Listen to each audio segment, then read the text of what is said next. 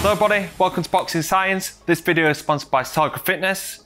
Today we're going to be covering the top 10 rotational exercises for boxing. This is particularly going to be focusing on rotational mobility, as this is the foundation to improve rotational performance. In other videos that we've posted on the YouTube channel, we've been focusing on rotational strength and power for boxing. If you're wanting to watch this video, please visit the link in the description where we've got a range of different core exercises and medicine ball throw to really power up your rotation. Now it's really important that we focus on rotational mobility first because if we don't get the mobility right, this will affect our performance in basically rotational strength and power. We want to be utilizing the correct muscle groups to contribute to this rotational power and not wanting to compensate by using the lower back or using the anterior shoulder muscles. So developing rotational mobility is vital and something that we focus on in every single session down here at the Boxing Science Performance Centre. Rotational mobility covers three different sections and today I'm going to take you through these three different sections as well as showing you some exercise demonstrations for that fit into each section. The first one is thoracic rotation. So improving the amount of rotation that we get from the thoracic spine. So this is towards the top end of the back and wanting to try and improve rotation through basically the upper back and the shoulders. Now the reason why we want to try and improve this is because boxers are quite anterior dominant in terms of the shoulders, punching high volumes, so they end up being quite tight here, which will affect thoracic rotation. With throwing a punch, we want to improve thoracic rotation to increase the range of straight shots and also to increase the rotational power into our bent arm shots. But let's talk about straight shots for now, where if we increase our thoracic rotation, we're able to get more range on the punch, which means at this range here, we'll be able to produce more power. So it's increasing that length tension relationship, something that we mention quite often across the YouTube channel and on our membership. If our thoracic rotation isn't as efficient, we'll start compensating by either using the lower back to start compensating using the spine, lean over that front foot, getting into a non-advantageous position, or more commonly, start to side bend and start utilizing a muscle that we call the QL muscle, which is quadratus lumborum, and that ends up being quite tight. So that's why a lot of boxers end up getting quite tight and sore low backs. So we're wanting to try and increase that thoracic rotation range. And we can do this in a range of different exercises, eagles, windmills, seated rotations, quadruped rotations, something that we utilize into more or less every single um, boxing science session. So let's have a look at these exercises before we move on to the next section.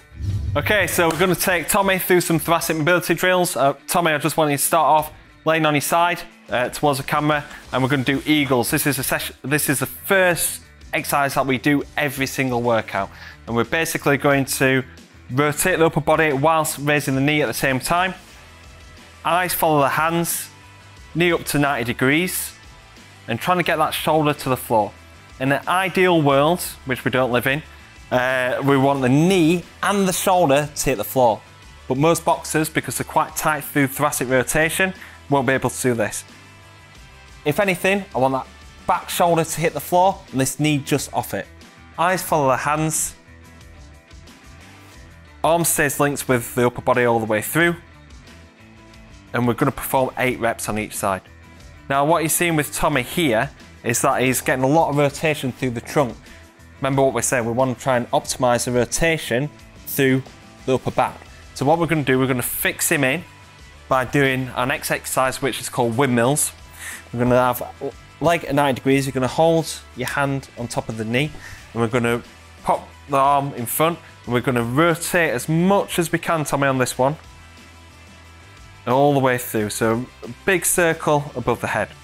Now you can still see that Tommy's getting a lot of rotation through the trunk and a bit of extension through the spine there. This is what boxers will tend to do because they're quite tight through thoracic. So I'm going to just lock my hand into the rib cage and just focus on rotation through this upper part of the back. So Tommy's reaching over, locking in this trunk, and you can see that it's quite limited in his rotation now, but we're targeting thoracic rotation of the upper back. Next exercise is quadruped rotations. So we're going to get on all fours, on the knees, hands just underneath the shoulders, and we're going to have one hand on the temple Tommy and elbow high on line with the shoulder, and we're going to try and rotate as much as we can on this one. So rotate, rotate, rotate, rotate up. Good. Again, on this one, you'll see a lot of people just try and rotate as much as they can. Again, getting extension through the spine there, getting trunk rotation. We're wanting to try and optimize this um, thoracic rotation here. So we're locking the spine there. We're just trying to rotate as much as we can through the thoracic part of the spine. And we can intensify this by doing uh, arm movements, so doing a little bit of a pre-stretch with the arm and then rotating up with the arm. We're not just flinging the arm back, making sure that the arm stays on line with the chest all the way through. So not just flinging it back behind the shoulder joint, we're keeping that hand on line with the chest as much as we can. And then the next exercise is the seated rotation. Tommy, just take a seat over here, mate.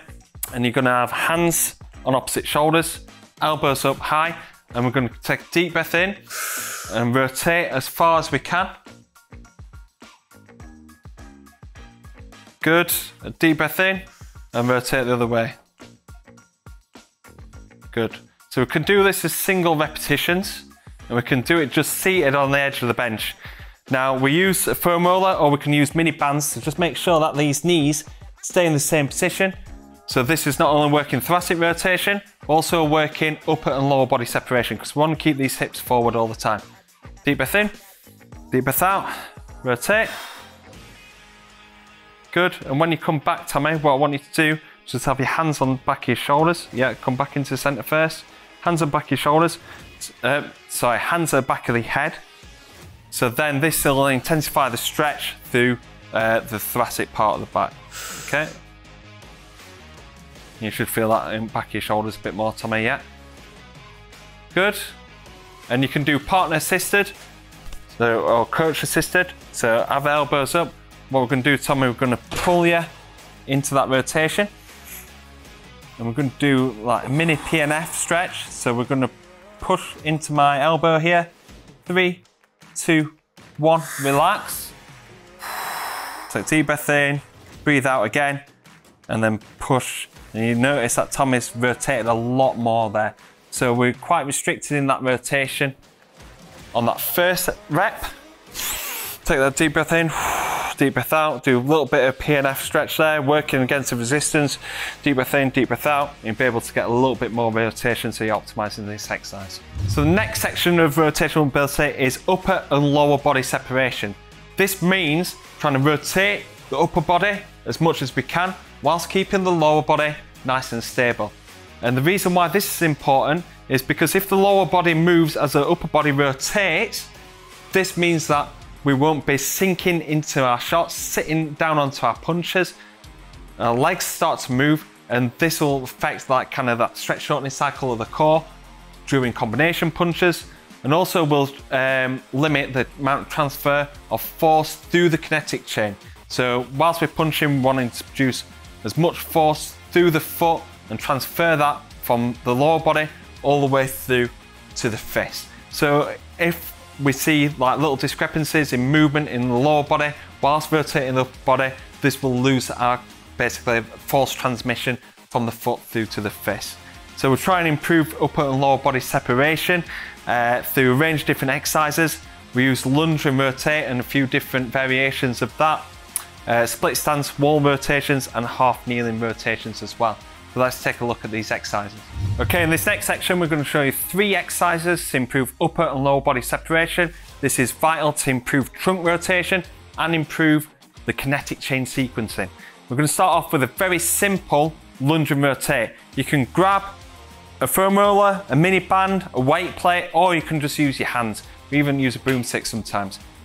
Tommy's going to lunge out, extend his arms, and then he's going to rotate over that front leg as much as he can without moving that lower body. He's making sure that his trunk is rotation, uh, rotating, so this Boxing Science logo is on line with the foam roller all the way through the movement. I don't care whether Tommy's going to lunge forward. Only just rotate to there, as long as his arms and his body's in sync. What I don't want to see is his arms just flinging around there, working across his body, he's almost cheating the movement, not optimizing that upper and lower body separation. Lunge down.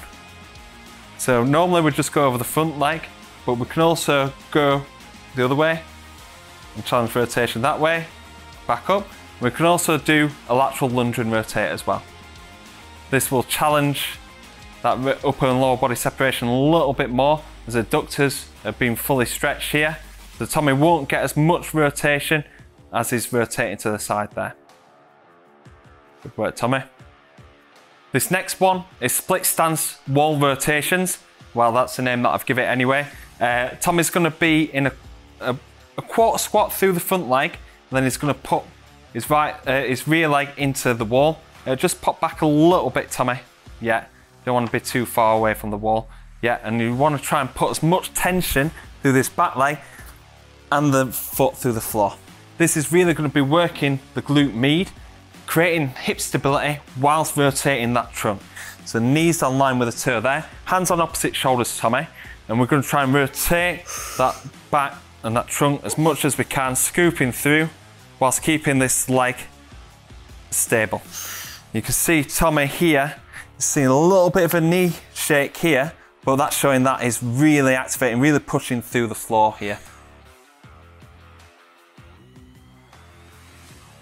And we want to make sure that we're keeping the shoulders retracted and we're scooping through, trying to rotate that upper back as much as we can. And the glute med is really having to switch on here. Good, and we're trying to put as much force through this lead leg and as much force through the rear leg as possible. Now this translates well to boxing, especially in like lead hooks or lead uppercuts, because the hip has to be nice and stable. And then if the hip isn't as stable, this can affect the amount of kind of stretch shortening cycle effectiveness of the of the core. Will also affect that kind of what position that we're firing from as well. This just leaves us to be very tight in here to then be, be able to throw nice, fast and powerful short range shots. Uh, the next one is uh, just kneeling rotations, Tommy. So we're going to use the foam roller against the box. So you're going to be half kneeling. It's like it's going to be at 90 degrees and making sure that the toe is directly underneath the knee. And he's going to use the foam roller to just press into the, uh, into the box so you can use the wall and he's going to rotate as much as he can through the upper body and you notice that this leg is having to stay fixed in position to keep this foam roller stuck there. If we take that foam roller away, what will happen is that that knee will, will tend to flare out and this is not increasing upper body and lower body separation. Keep the knee there as a cue and you can add a little bit of a complex to this so you can do a uh, roll with it so you can rotate as much as you can and then roll on the other side. It's a fantastic one. It's working thoracic rotation, trunk rotation and upper body and lower body separation. Fantastic exercise that we're using with most of our boxers down here the Boxing Science Performance Centre. An important cue is to make sure that you're keeping this rib cage, you want to keep chest up Tommy, but keep the rib cage down. Not wanting to start compensating using lower back muscles here. So you can see Tommy's actually limited his range now Do that cue there. Yeah, let's try and rotate, rotate, rotate, rotate. We'll keep the rib cage down. Yeah, good. Because what we'll want to do is if we're not getting as much rotation, we'll start trying to use your back muscles there. Okay, so fantastic uh, drill. How many reps? Probably want to be doing five rotations, five rolls, and then move on to the other side. The last one, we've really focused on upper body rotation. This is really important because wanting to improve the amount of rotation that we're getting through the upper back, the amount of rotation that we're getting through the trunk whilst keeping the lower body stable, but also we're needing to improve hip rotation as well.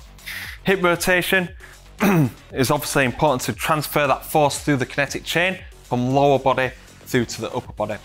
Now, a lot of boxers, because they're quite tight in their hips and tight in their ankle joint, will struggle to get that full and optimal hip rotation and hip extension into their punches.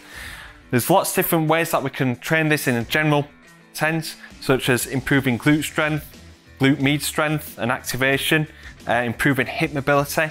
But these are a few different ways that we can do it in a rotational sense. So doing a reach and rotate, plate rotations, and banded rotate to press. So let's take a look at these exercises. Okay, this next section is looking at hip rotation for rotational mobility. You can improve hip rotation by improving hip mobility, glute strength, and glute med activation. But there's certain exercises that you can use to make sure that it sinks and be able to try and increase hip rotation through punch specific action or very sport specific action to increase uh, kinetic chain sequencing. The first one is to just reach and rotate. Tommy, you're going to stand, bilateral stance, feet hip width apart, and I want you to get into like a bit of a stance and guard position, really. Uh, well, your guard position. And all you're going to do is try and reach and rotate as far as you can.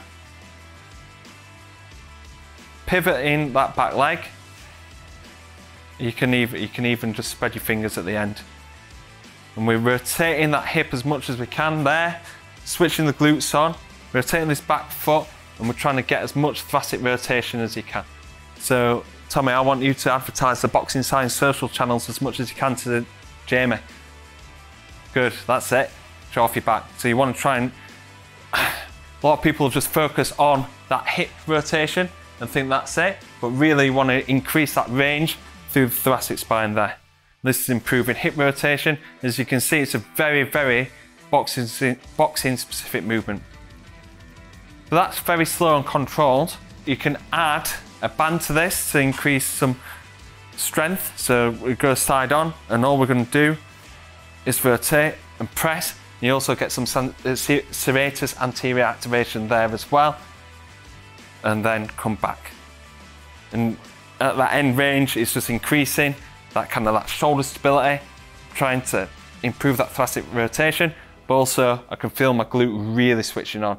If I'm doing it there, I've really got to think about squeezing that glute for increased activation. Once I have the band there, working against that resistance, I'm really having to switch my glute on there to push against that resistance there. So you do around about eight reps each side. And again, just try and get that little bit extra range by just protracting that scapula Again, getting that serratus anterior working there. We're going to do plate rotations. So we're going to start off hands level, so where the plate is, the center of the plate is on line with the sternum, shoulders back and down, and we're rotating to the side, pivoting the rear hip, and to rotate as fast as I can, but then control. Control. Yeah, that's it. And get into nice rhythm, just like a bit like a pendulum. What people can be guilty of here is suboptimal rotation of the hips, maybe going a little bit toe dominant like Tommy was doing there. Going to this position and letting the arms come across rather than being on line with the chest all the time. And also being a little bit stiff and robotic with it. What I want to see is it being a little bit like pendulum. Faster, slow, faster, slow, faster, slow. So it's getting that max, maximal hip rotation and extension but then being able to decelerate at the end range and quick. And it's nice and relaxed rhythm to it. So give that another go, Tommy.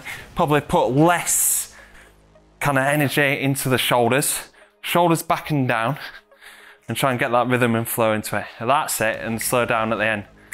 Yeah, good. Full hip rotation, nice. Good. Good, and that's a great exercise to use as an activation drill before boxing and before uh, strength conditioning sessions, probably towards the latter end of camp. Okay guys, that brings us to the end of the video and we covered our top 10 rotational exercises for boxing.